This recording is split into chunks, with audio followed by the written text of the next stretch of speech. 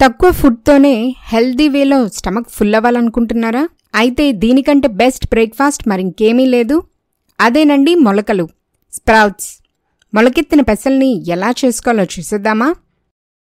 ముందుగా ఒక బౌల్ని తీసుకుని అందులో ముప్పావు కప్పు పెసల్ని వేసుకోండి. ఇవి నార్మల్గా అయితే నలుగురు నుంచి ఐదుగురు మెంబర్స్కి సరిపోతుందండి. ఆ తర్వాత ఈ పెసల్ని మునిగినంత వరకు నీళ్ళను వేసుకొని ఒకసారి క్లీన్ చేసుకోండి. అప్పుడు అందులో ఏమైనా డస్ట్ కనుక ఉంటే కనుక పోతుంది.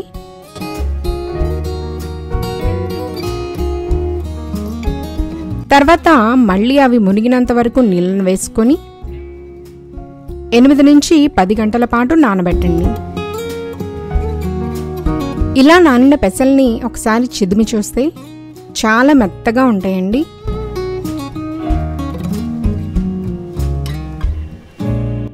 ఇప్పుడు ఒక గిన్నె పైన ఇలా ఒక కాటన్ క్లాత్ కానీ లేదంటే ఒక కర్షిఫ్ని కానీ పెట్టి అందులో ఈ నానబెట్టిన పెసల్ని వేసి ఇలా నీళ్ళని మొత్తం డ్రైన్ చేసుకోండి.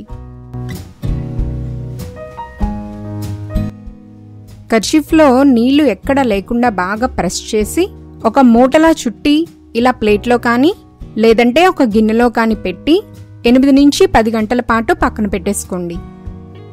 కర్చీఫ్ కానీ కాటన్ క్లాత్ కానీ ఏదైతే మీరు యూజ్ చేస్తున్నారో ఆ క్లాత్ ఎప్పుడు కూడా వెట్టగా ఉండేలా చూసుకోండి. మధ్య మధ్యలో నీళ్ళని చిమ్ముతూ ఉండాలి.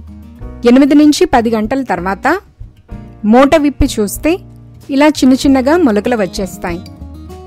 చూస్తున్నారు కదండి ఎంత బాగా వచ్చాయో? ఈ మొలకెత్తిన గింజల్ని ఇలాగే తినేయొచ్చు లేదంటే బెల్లంతో తీసుకున్నా చాలా టేస్టీగా ఉంటాయండి.